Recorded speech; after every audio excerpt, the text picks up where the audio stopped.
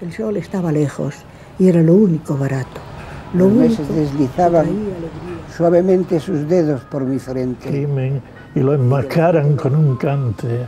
Hermosa la sonrisa soledad. se le nota el látigo. Dulce materia que abrazo Yo creo que eh, la actividad en, en Sanse comienza mm, en, en en los finales de la transición. Estaba todo por hacer, pero todo.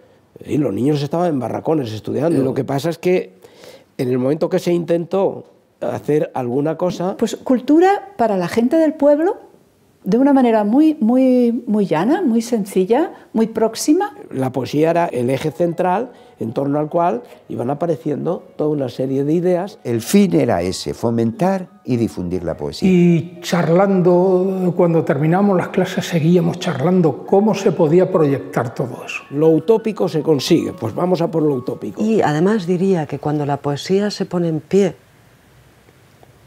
eh, la gente responde. La poesía es como, el viento. Y cuando se adquirió la temperatura de combustión para que eso empezara a arder, aquello que yo he vivido, aquello que me ha producido una determinada emoción en algún momento, yo necesito eh, llevarlo al papel para que en ese papel quien lo lea o quien escuche aquellas palabras siga palpitando también allá. él quería que Sanse fuese la ciudad de la poesía y que lo hiciese el pueblo mm, suyo, todo eso, y que estuviesen orgullosos. Claro, él trajo con él, pues a, a lo mejor, a lo mejor de la poesía española. Yo diría que, que la poesía del- de, de todos estos años, de, de 40 años para acá, pasó por Sanse. como Claudio, como Eladio Cabañero, como Félix Grande, como Ángel García López, Joaquín Benito de Luca. En fin, hacíamos lo que podíamos, que era poco en realidad. Salvo escribir, que La poesía es como, el viento o como el fuego.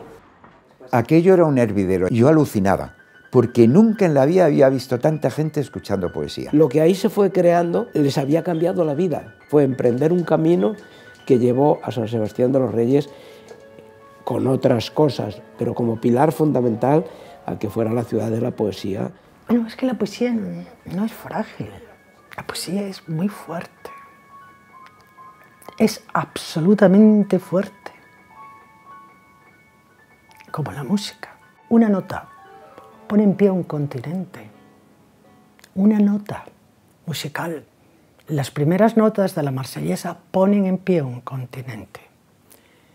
Un verso se hace camino al andar, pone en pie al universo.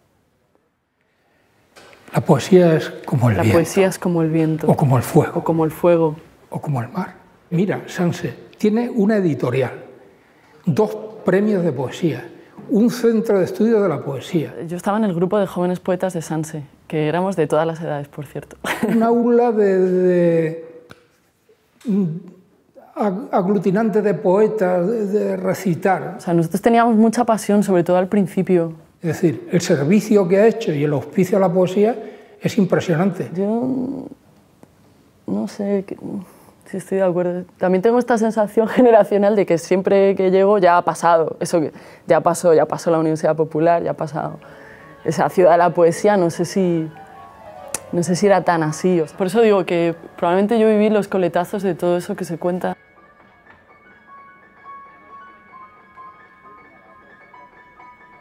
La poesía es como el viento, o como el fuego, o como, como el mar. Hace vibrar árboles, ropas, abrasa espigas, hojas secas, acuna en su oleaje los objetos que duermen en la playa. Becker decía, ¿qué es poesía? Me dicen mientras clavas en mi pupila tu mirada azul. ¿Qué es poesía? Y tú me lo preguntas, poesía eres tú. Y un poeta catalán muy divertido cambió estos versos de la siguiente manera. ¿Qué es poeta? ¿Qué es poesía? Me dices mientras clavas en mi mirada tu mirada atroz. ¿Qué es poesía? Y tú me lo preguntas, poesía soy yo.